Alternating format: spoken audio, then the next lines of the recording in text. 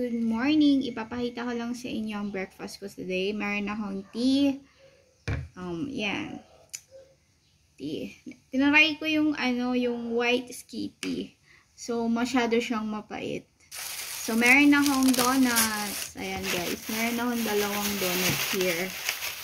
Ayan.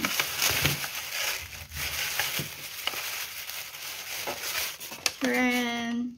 Ayan. At saka meron pang isa. Ayan. So, exactly. Kasi mapait yung ano, tea. Yesterday, yung tea ko is very nice and hindi siya gaanong mapait. Ito, super pait. But, at least healthy. And then, combination ng unhealthy food.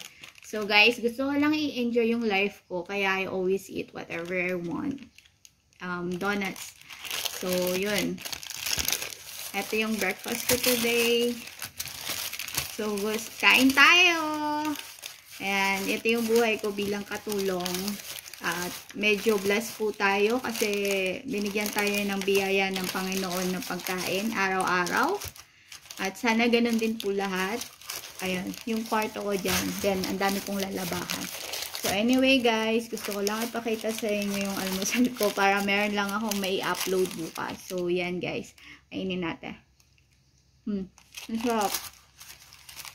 Alam nyo ba, super mahal ng donuts pag bibili ka mula sa Pilipinas. Kasi meron silang Lucky Plaza, yung pasabay. Tawag nila pasabay. So expensive. Kaya dito na lang ako namili sa may ano, sa Singapore. It's same naman naman yung taste eh. Pero, ang problema nga lang, kasi hindi naman ako nalabas eh. Hindi naman ako nagala or anywhere na, ano, gumagala lang ako once a month kapag may importanteng gagawin. At gusto kong mag-grave ako ng mga ganito. Yun, yun. Pag gusto ko ng mga donuts, meron ako, merong nagbibigay sa akin as lang ako, yun. But I work so hard, that's why I deserve to eat something special. Special na for me nito ah, tulad namin sa tulad naming mga katulong, kapag nakakakain kami ng donut, napaka-special na for for us. Kasi hindi naman lahat ng katulong is nakakain ng masasarap kasi yung iba hindi talaga makalabas as in hindi. Unless if they have a neighbors or someone buy for them and give it to deliver like that. Uh, kasi dito anyway, ako may marami akong mga kaibigans na pwede akong sabihan na gusto ko ng ganito, bilang mo ko or pwede kang mag-order from online, kaya lang so expensive kasi kailangan mong makota yung 50 $50 bago ka maka makabili. Kasi ang mahal-mahal talaga kapag nagpa-deliver ka, um, hindi free ang deliver dito. Alam nyo kung magkano, $10 ang deliver. Tapos, mabibili ka lang ng isa, so expensive na, ba diba? So, yun, I'm so blessed and very thankful. At I'm very thankful kasi ang daming nagko-comment sa akin ng magaganda. I'm, I'm very blessed at lagi ko nga sinasabi na pinagpe-pray ko kayo na maging successful lahat ng mga channels nyo.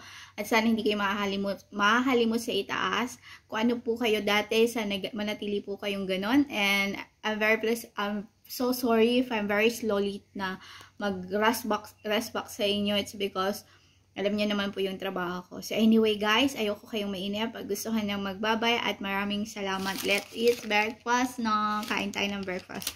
I'm so excited to finish this one because I have a lot of things to do. And then baka mahuli pa tayo ng ating amo. Ayun yung, yun, nandyan yung, yung camera andun. Did you see that? O malay natin kung binapanood din pala ako ng amo ko. So anyway guys, maraming salamat and God bless. Sana huwag niyong kalimutan i-like at subscribe ang YouTube, ang YouTube channel ko, ang buhay ko, pagkain ko. I always upload food. It's because yun lang siguro yung ano, gusto ko mag-upload ng different kinds of things na I can go outside. But now it's still not safety. It's because I still have a Comic Con.